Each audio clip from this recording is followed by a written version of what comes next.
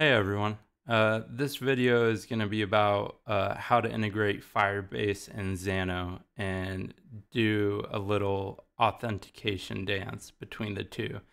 And just so you know, the reason I'm doing this is because Flutterflow has uh, a really nice integration with push notifications and social logins. So I'm just going to be using it for that, right? Um, and essentially, what is going on is that we are logging in to Firebase and authenticating with Firebase.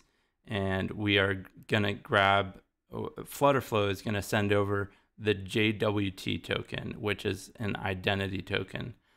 And we're going to send that over to Xano and we're going to exchange that for a Xano access token. So this is what it, the action flow looks like when you log in. Um, we're logging into Firebase here, and then this is for an email and password.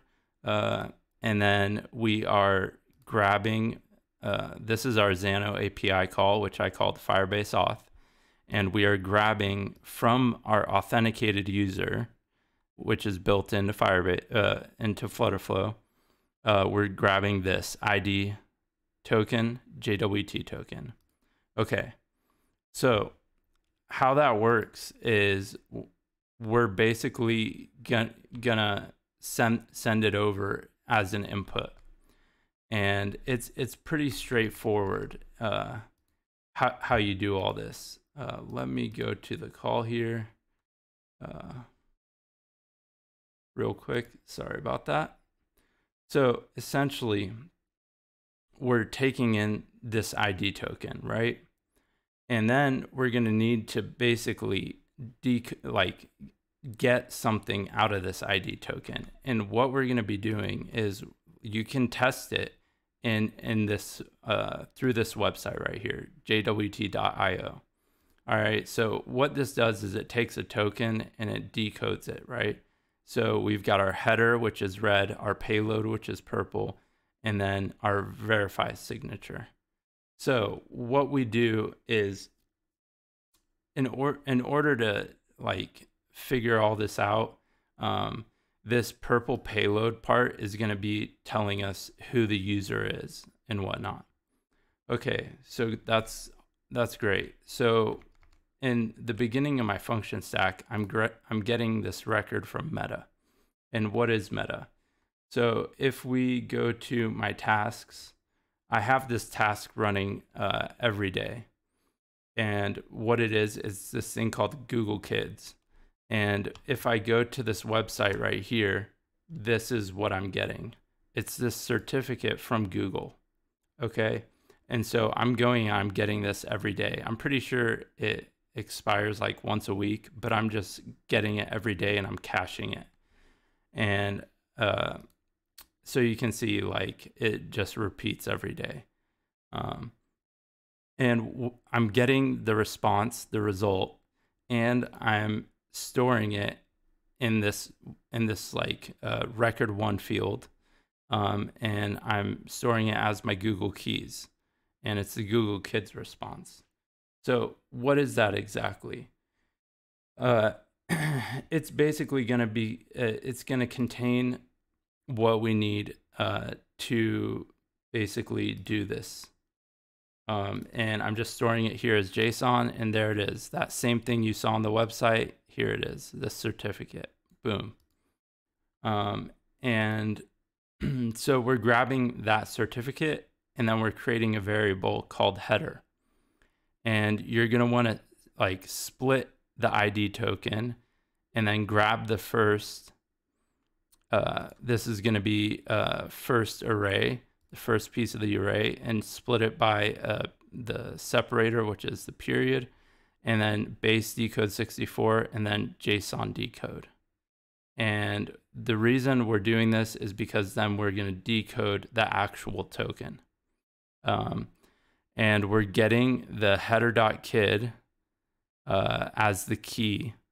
And then this signature the signature algorithm is RS256. And when you plug like when you plug in that JWT, like in, into this, it contains all that information. You'll see what's going on. And a quick way to do that is if you just bind it to an input text field within your app in test mode uh, or in run mode, uh, you can just select it uh, and copy and paste it in. And you'll figure out what's going on and what I'm talking about. So once you do that, uh, essentially all I'm going to do is I'm going to, I created this field within my users table. So everybody's going to have this uh, field called Firebase underscore ID. And that's where it's going to have their Firebase ID essentially. And this is called the user ID. Um, and it's located in that token. That's why we're getting it. Um, and so then I have a simple if conditional. Um, I'm checking basically if uh, the person that's logging in has a, a, user record within our Xano table.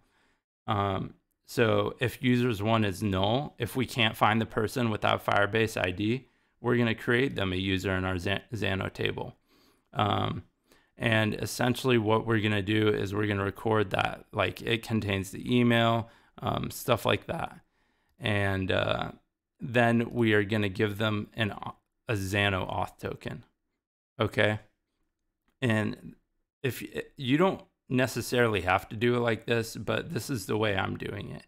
Um, essentially, it, I'm create, creating an auth token twice. And the reason I'm doing this is because this one, I'm creating it based off of the user ID that we created in this add record. And this one is if it's not null. If we do have that user, like the Firebase uh, ID for that user, uh, we're just going to create the auth token for that specific user. Okay. And that is pretty much how it works. Um, one other thing I will show is that uh, th these Xano tokens are going to expire, right? We, we saw it right here um, when we create this auth token, this is the expiration. And one thing that will happen is uh, you, we're going to be storing this in our app state, right? And we are storing this as a secure persisted field, okay? And sometimes a user is going to come back and log in and their auth token is going to be expired and they'll get 401s in the app. So, how to avoid that situation? There's a couple different ways. Um, you can do it by uh, recording the time and doing calculations based off of your uh, when the Xano token is going to expire and do some logic on page load on every page load or your home page load and basically go and exchange the token if it's, you know, an hour within expiring, or you could do what I'm doing here, which is I'm creating a routing page. And so instead of having my logged in as my home screen, my logged in screen in my settings right here is my routing page.